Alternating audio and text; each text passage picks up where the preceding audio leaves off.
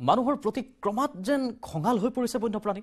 কাজিৰঙাৰ পাছত এইবাৰ মানসত পৰ্যটকলৈ চোঁচা লৈছে এটা গড়ে। আক্ৰমণৰ পৰা কথমপি ৰক্ষা পৰিছে পৰ্যটকৰ এটা দল। চাওক।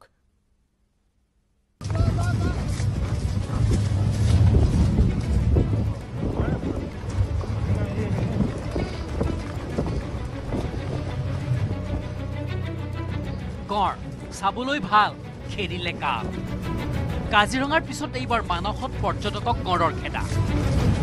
পৰ্যটকৰ জীপৰ পিছে পিছে তুৰন্ত গড় গড়ে খেদিছে পৰ্যটক ভয়ত বিতত হৈ পৰিছে।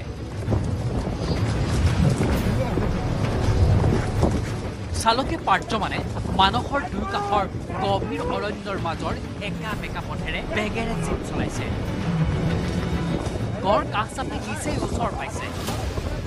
জীপত থকা সকলোৰে ভয়ত হাত ভৰি লুকাইছে গড়টো নিচেই কাষ চাপি অহাত বনকৰ্মীয়ে দুজাই গুলী ফুটাইহে ৰোধ কৰিলে গড়ৰ নিশ্চিত আক্ৰমণ। মানস ৰাষ্ট্ৰীয় উদ্যানত বৃহস্পতিবাৰে বিয়লি সংঘটিত হ'ল এই ভয়ংকৰ ঘটনা।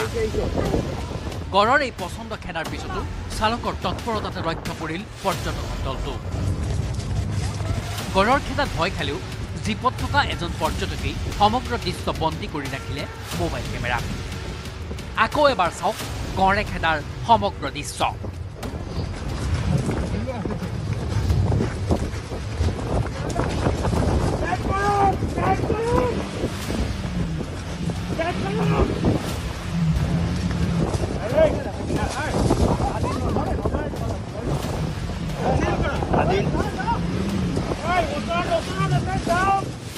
বৃহস্পতিবাৰে পুৱাৰ ভাগত কাজিৰঙাত বেংগালুৰুৰ এটা পৰ্যটকৰ দলক খেদিছিল হাতীয়ে তাৰ পিছত একেটা পৰ্যটকক খেদিছিল গড়ে।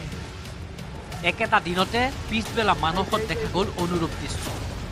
কাজিৰঙাতকৈ ভয়ংকৰ আছিল মানসৰ এই গড়ৰ খেদা। এইবাৰ চাওক আন এক দৃশ্য। তিয়কৰ পথাৰৰ দৃশ্য। এটা গৰু পোৱালি গড়ে খেদিছে। কেৱল খেদাই নহয়।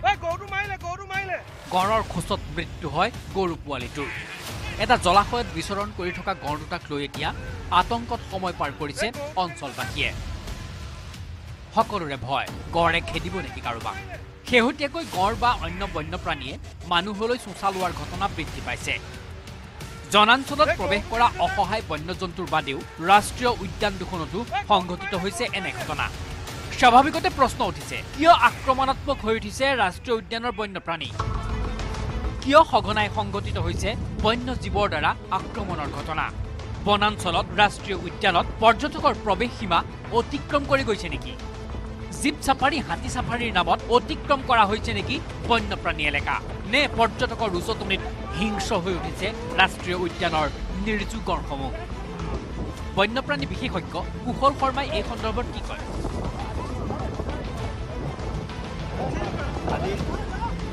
এতিয়া আমি চাই আছো চাওঁ কেনেকে ইয়াক ডাইভাৰ্ট কৰিব পৰা যায় কাজিৰঙা ফালে বেক কৰাৰ পৰা। সেইটো ওলাইছে। কাৰণ যিয়েই নহওক মানস ৰাষ্ট্ৰীয় উদ্যানৰ গড়ৰ খেদাই স্বাভাৱিকতে শংকিত কৰি তুলিছে পৰ্যটকসকলক। Bureau report news eighteen Assam north east.